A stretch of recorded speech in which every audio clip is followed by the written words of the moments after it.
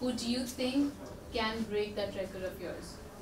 Uh, well, I had a chat with him. So it's, you know, after the game, after the game, I met him on the golf course, and he said it's not up to him. It's a it's a team decision, and he would love to have had the opportunity to go for it. Um, in hindsight, with Australia winning with a day to spare, uh, with me being in Adelaide, it would have been lovely.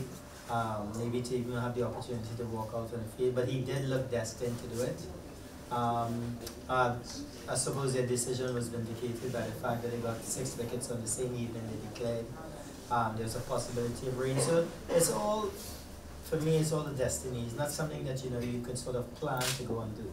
And um, it's not his up. It was not his opportunity this time. But I feel, to answer the second part of your question, players like David Warner and in the past uh, Chris Gayle with two triple centuries, Sehwag, Inzamam Haq, Jayasuriya. Um, look at the guy who broke my record, uh, Matthew Hayden. Attacking players are the ones who going to be best suited to to to break a record. I think uh, a guy like Virat Kohli with the way he scores, um, Rohit Sharma, also a, a player on his day or day and a half, you know, could definitely um, could definitely uh, break the record. I believe it will be uh, at some point. Um, and hopefully I'm around to, to see because it's it, I don't think records are made to be kept, made to be broken, and the game has to keep improving. The game has to always remain exciting. And uh, sitting down as a 50 year old with two two world records is not it's not that exciting. I can tell you that. Yep. Brian, I uh, just want to know about your thoughts. One of the things you have to um, you have to understand, you have one of the best sides in the world, so everybody is sort of lining you up at some point in time.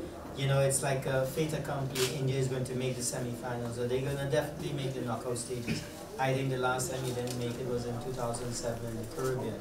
But um, you are going to make it. So everybody is sort of gearing up to that match. If it's a quarterfinal match, if it's a semi-final match, you look at the way how Zealand played against India, you know, they knew who to target, they knew what to do.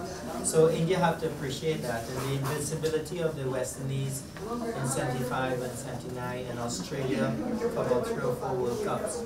You saw that they, they tick all the boxes. They were so dominant. You know, the Australians were so dominant. We knew that in 99 that they were the strongest team, in 2003 they were the strongest team, in 2007.